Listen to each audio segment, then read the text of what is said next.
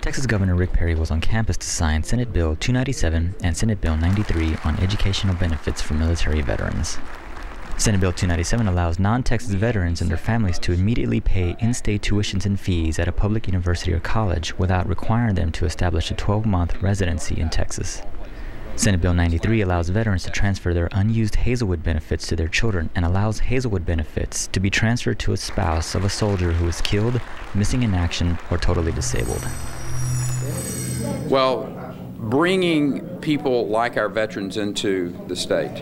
Uh, and when I talk about that, this piece of legislation, no matter where you're from, if you come to the state of Texas, 30 semester hours uh, per year, uh, then the tuition is waived. That's a big deal, upwards of $8,100 a year. Uh, luring that type of disciplined, focused, mature individual into our state, I think, serves Texas well.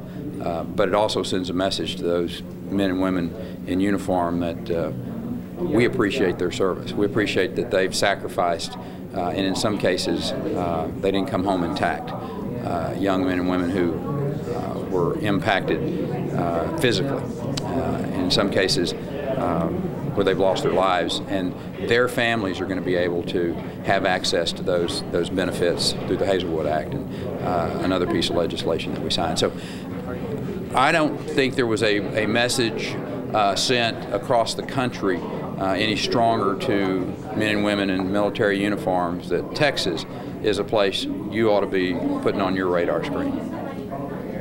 Sure. Uh, when you think about uh, the cost of education today, and I think we all have uh, uh, concerns that the cost of education is, is becoming a major burden, being able to help reduce that burden, particularly again on people who have that mature, thoughtful, disciplined approach to life. Uh, not only is it good for them, it's good for the state of Texas.